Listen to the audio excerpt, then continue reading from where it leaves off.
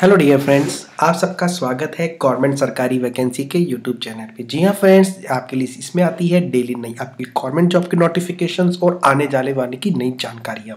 जी हाँ फ्रेंड, जैसा कि अभी हम सब जानते हैं कि आपकी B C C L B C C L means है आपका भारत कुकिंग कोल लिमिटेड जी हाँ फ्रेंड्स, इसने चपरासी की एक वैकेंसी निकाल रखी। फ्रेंड्स, आपके काफ़ी सारे क्वेश्चन आ रहे थे मेरे यूज़र्स के सब्सक्राइबर्स के, कि सर इसमें क्वेश्चन पेपर किस तरीके से आता है।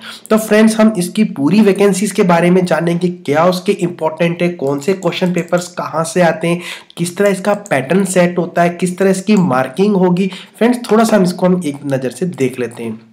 जैसा कि फ्रेंड्स आप जानते हैं कि आठवीं पास के ऊपर पीओन और सुपरवाइजरी की जो ग्रेड की जो वैकेंसी निकली हुई है सर फ्रेंड्स टोटल वैकेंसी 56 है। लास्ट डेट आपकी 28 दिसंबर रहने वाली है। तो फ्रेंड इसको जल्द से जल्द भर दीजिए। इसका नोटिफिकेशन आपको ज़रूर आपको मिल गया होगा, नहीं तो आप हमारी पुरानी वाली कोई भी यूट्यूब वेरियल देख सकते हैं। तो फ्रेंड्स आप देखेंगे इसकी जो वैकेंसी सत्रह तारीख को रिलीज़ हुई थी और ये बिल्कुल छप्पन पोस्ट के साथ हुई थी। तो फ्रेंड्स ये जो वैकेंसी चल रही है, वो आप देख सकते हो, इकतीस दिसंबर से चालू हुई थी और अट्ठाईस दिसंबर तक चलने वाली है।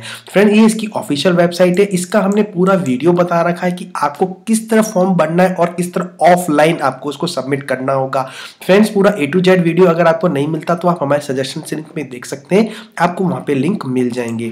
अब बात करते हैं कि फ्रेंड्स इसका जो सिलेक्शन किस तरह होने वाला है। फ्रेंड जो इसका जो एग्ज़ाम का जो सिलेक्शन है, वो आपका बिल्कुल एक एप्टीट्यूड टेस्ट पे होगा, जो फ्रेंड्स माना जा रहा है आपका ऑब्जेक्टिव टाइप के क्वेश्चन होंगे।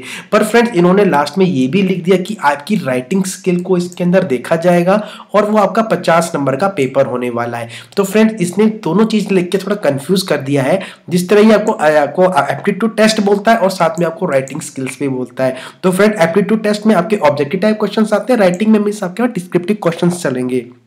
डिस्क्रिप्टिव का क्वेश्चन मतलब है, आपको उसके अंदर अपना लिखने का एक पैटर्न आपको लिखना पड़ेगा। जैसा कि मैं आपको आगे डिस्कस करने वाला हूँ। तो फ्रेंड इसको पास करने के लिए जो भी जनरल कैंडिडेट्स हैं, जो अपने जनरल कैंडिडेट्स में आते हैं या अदर स्टेट कैंडिडेट्स हैं, जो आपके वाट आपके झारखंड से बिलोंग नहीं करते तो उनको पचास में से बीस नंबर लाने ज़रूरी होंगे। उसी तरह friend S T S T जो कैंडिडेट्स होंगे, उनको पचास में से सत्रह नंबर लाने होंगे। और ये फ्रेंड्स आपका पूरा साठ मिनट मतलब कि एक घंटे का पेपर आपका इसके अंदर लगने वाला वाला है। तो फिर उसी जो आपके जो मार्क्स आएँगे, उसी के आपके अकॉर्डिंग आपका एक टेस्ट ऑफ़ पैनल बैठेगा, जो आपकी सारी आगे इंटरव्यू वाट जो भी प्रोसेस होगा, वो करना चाहेगा। फ्रेंड्स काफ़ी अच्छी जॉब है वैकेंसी परमानेंट है तो उसके थोड़े से हम चीज़ देख लेते हैं।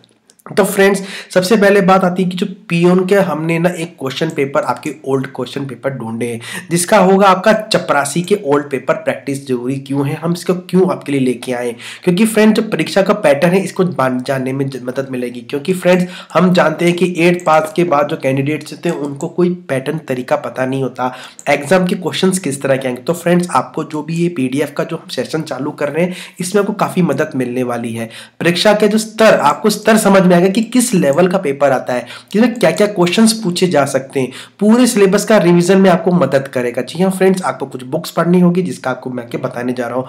कुछ ऐसे क्वेश्चन होते हैं जो बार बार रिपीट होते हैं। जी हाँ फ्रेंड्स आपको मैंने क्या, इसमें आपने पिछले भी देखा होगा कि जैसे आपको पचास में से ओनली बीस मार्क्स ही लाने हैं।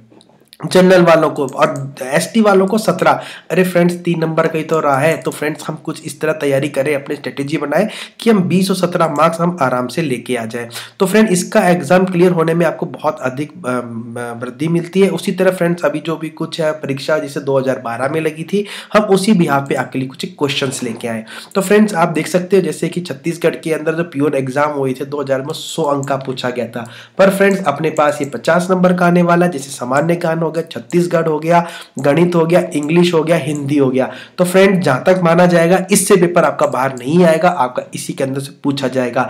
जिससे सामान्य ज्ञान हो गया तो फ्रेंड सामान्य ज्ञान के लिए आपको कुछ भी नहीं करना है, आपको ओल्ड सैंपल पेपर्स करके जाने होंगे, जो हम आपको पूरी कोशिश करेंगे यहाँ से कराने की। उसी तरह फ्रेंड छत्तीसगढ़ के भी क्वेश्चन करेंगे मैथमेटिक्स के कुछ आपको मैं टॉपिक सिलेबस बताऊँगा, हिंदी के भी बताऊँगा, इंग्लिश के भी बताऊँगा, आपको कर लेने हैं। और फ्रेंड इसमें सौ क्वेश्चन थे तो उसके फिफ्टी क्वेश्चन ही आपके पास आएँगे। तो फ्रेंड्स मैं ऐसे सारे के एक वीडियो आपके पास लेके आऊँगा। तो आज सबसे पहले मैं शुरू करने जा रहा हूँ आपका छत्तीसगढ़ का सामान्य ज्ञान। अगर फ्रेंड्स इसमें आपका अच्छा रेस्पॉन्स मिलता है, अगर आप मुझे अच्छा रेस्पॉन्स करते हो तो फ्रेंड्स मैं इसके ऊपर और वीडियो बनाऊँगा सारे क्वेश्चन का। और फ्रेंड इन सारे क्वेश्चंस का पीडीएफ आपको इसके डिस्क्रिप्शन से लिंक में मिल जाएगा। तो फ्रेंड्स आज जो हमारा टॉपिक है, उसको मैं ज़रूर शुरू करने वाला हूँ, छत्तीसगढ़ राज्य का सामान्य ज्ञान। फ्रेंड्स आपको मैं बता दूँ, जो बीसीसीएल है, वो छत्तीसगढ़ के अंदर है और जहाँ तक ये अपने देखना चाहता है लोकल कैंडिडेट्स ही देखना चाहता है। पर हम जानते हैं, इसके अदर स्टेट के कैंडिडेट्स भी इसके अंदर अप्लाई कर सकते हैं, पर इसमें वो होना चाहिए, इसकी कुछ कंडीशन है, वो हमने सारी बता रखी। तो फ्रेंड्स इस वीडियो के अंदर मेरे से कोई डिस्क्रिप्शन में इसकी कंडीशन नहीं पूछेगा, जिसको भी होगा, वो मैं उनको अपने इस वीडियो में पुराने लिंक के डिस्क्रिप्शन लगा दूँगा। सॉरी जो वीडियो के लिंक डिस्क्रिप्शन में लगा दूँगा। आपको वहाँ जाके देखना है। आपको सारी नॉलेज वहाँ से मिल जाएगी। तो फ्रेंड्स अब शुरू करते हैं। जैसे सबसे पहला क्वेश्चन तो फ्रेंड सबसे पहला क्वेश्चन इसका है, देवरानी जेठानी मंदिर कहाँ स्थापित है? जिसे सिरपुर में, राजिम में, ताला में मलहार में। तो फ्रेंड इसका उत्तर होगा ताल में, ताला में। दूसरी पर तकतपुर नगर किस नगर नदी के तट पर स्थित है? शिवनाथ अगर मानती और मनियारी। तो फ्रेंड इसका आंसर होगा मनियारी। तो फ्रेंड नेक्स्ट आंसर है खूंखा घाट किस नदी पर है? मनियारी हदसाओ खा, खारून और महानदी। तो फ्रेंड इसका आंसर है खारून। नेक्स्ट रायपुर का एसटीडी कोड क्या है? फ्रेंड ये एसटीडी कोड से मतलब आ गया तो आपको आप जिससे अगर वहाँ के रहने वाले होंगे आपको समझ में आ जाएगा इसका एसटीडी कोड है zero seven seven one Y ये फ्रेंड्स ये इसका एसटीडी कोड है। नेक्स्ट है मी, मिनी माता परियोजना किस नदी पर है? तो फ्रेंड्स आपका आंसर होना चाहिए इन ऑप्शन में से महानदी हदसादो अरपा शिवना तो फ्रेंड्स कहाँ पर आएगा आपका? हदसादो। हदसदो विशालपुर लोकसभा क्षेत्र में कितने सांसद हैं? आप समझ में आया? विशालपुर लोकसभा क्षेत्र के सांसद, जैसे आप विशालपुर एक काफ़ी बड़ा एक लोकसभा क्षेत्र है, उसके इन्होंने पूछा, सांसद कौन है? तो उसका आगा, पुन्नूलाल महान, अमरलाल अग्रवाल, दिलीप सिंह और धर्मलाल। तो फ्रेंड, ये उस टाइम का, ये है आपका सन 2012 का तो उस समय कौन थे? उसके दिलीप सिंह जुदेव थे। तो फ्रेंड्स, जो हमारा ये वीडियो देख रखे हैं, अगर आप बिलासपुर से हैं, अगर झारखंड झारखंड से हैं या अदर स्टेट्स तो फ्रेंड, मुझे आप इसका आंसर डिस्क्रिप्शन में लिख के देना। ये आपका, आपके क्वेश्चन है। नेक्स्ट छत्तीसगढ़ के वर्तमान विधानसभा अध्यक्ष कौन है? तो सन, ये फ्रेंड जो इसके आंसर है? सन 2012 के अकॉर्डिंग है? उसका नाम है धर्मलाल कौशिक। तो फ्रेंड ये आपके सन 2012 में थे, आज चल रहा है 2022 तो इसका भी आप आंसर डिस्क्रिप्शन में दोगे। छत्तीसगढ़ के वर्तमान विधानसभा के अध्यक्ष कौन है?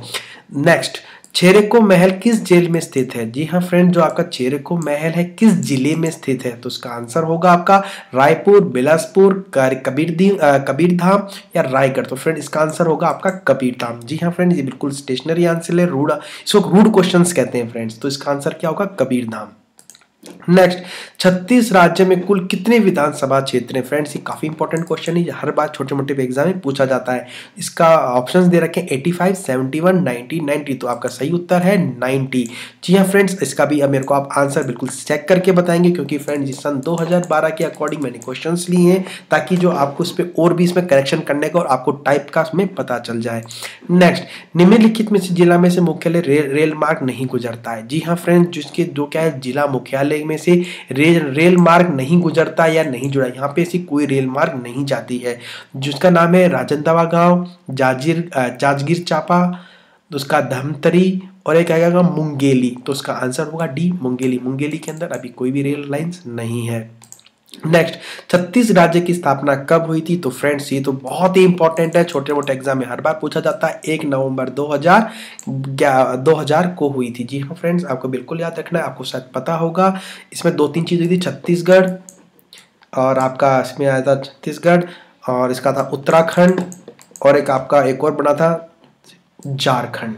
जी हाँ छत्तीसगढ़ उत्तराखंड और एक झारखंड, ये तीन बने थे। आपको इसकी बिल्कुल याद होनी चाहिए, जिसमें से आपका छत्तीसगढ़ बना था एक नवंबर 2000 को।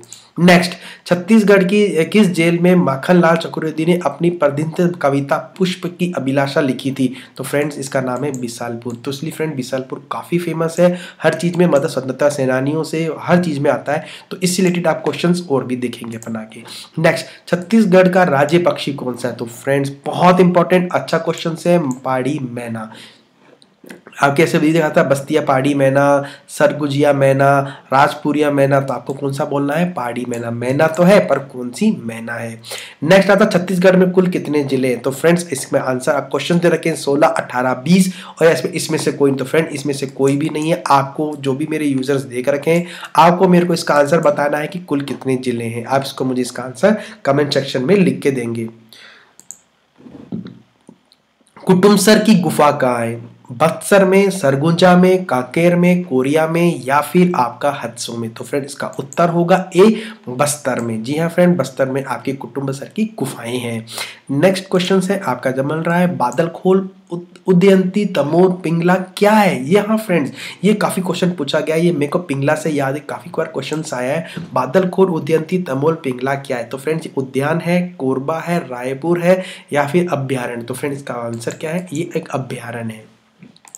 नेक्स्ट छत्तीसगढ़ की ऊर्जा राजधानी कौन सी है? भिलाई, कोरिया, रायपुर, कोरबा। तो फ्रेंड्स का आंसर है कोरबा। कोरबा को क्या कहा जाता है? ऊर्जा की राजधानी कहा जाता है छत्तीसगढ़ की। अगला आ गया शिव नारायण शिव शिवरी नारायण किन दो नदियों का संगम है? शिवनाथ हदसो, मंद हदसदो, महानदी शिवनाथ, महानदी हजदी तो इसका फ्रेंड उत्तर है सी सी है महानदी शिवनाथ। फ्रेंड्स आपके नदी के रिगार्डिंग क्वेश्चन जहाँ से भी कोई मंदिर या संगम होता है, वो काफ़ी इंपॉर्टेंट होते हैं। तो फ्रेंड आप छत्तीसगढ़ से रिलेटेड ये क्वेश्चन ज़रूर देख के जाना। छत्तीसगढ़ की जीवन रेखा किसे कहा जाता है? ये फ्रेंड्स आप लोगों के लिए क्वेश्चन है, मुझे बताएँगे छत्तीसगढ़ की जीवन रेखा किस नदी को कहा जाता है? तो फ्रेंड इसका आंसर मुझे कमेंट सेक्शन में देंगे। अगर फ्रेंड्स आपको ये सेक्शन कैसा लगा है, इसमें अगर आपको कोई भी इसमें ऐसी चीज़ लगती हो कि जो हमने मिस की है, आपको नहीं समझ में आती तो मुझे आप बताना। फ्रेंड इसके बाद हम स्टार्ट करेंगे आपका मैथमेटिक्स का, फिर आपका होगा आपका इंग्लिश फिर होगा आपका इसमें हिंदी। ऐसे करके मैं आपका पूरे इसके पेपर की, आपको पूरे एक सैंपल पेपर्स प्रोवाइड करा दूँगा, ताकि एग्ज़ाम में इसको काफ़ी हेल्प मिलेगी, और इसके अंदर आप पचास में से बीस क्वेश्चन आप आराम से कर पाएँगे। तो फ्रेंड इसके मैं अपना एक वीडियो अगर आपका रेस्पॉन्स अच्छा मिलता है तो फ्रेंड्स ऐसे में आपके लिए काफ़ी सारे क्वेश्चन और लेके आऊँगा, जो आपको प्योर पेपर को करेक्ट करने में काफ़ी इसमें आपको हेल्प मिलेगी। तो फ्रेंड आशा करता हूँ आपका वीडियो काफ़ी पसंद आया होगा, काफ़ी इसको जानकारी मिली होगी। तो फ्रेंड्स प्लीज़ आप बने रहिए हमारे यूट्यूब चैनल के साथ, इससे आपको काफ़ी जानकारी और भी मिलती रहेगी। तो फ्रेंड इससे हमें इजाज़त दीजिए, मिलते हैं सर अगली बार, फिर नई जानकारी, नई अपडेट के साथ, तब तक टेक केयर बाय जय हिंद, जय भारत।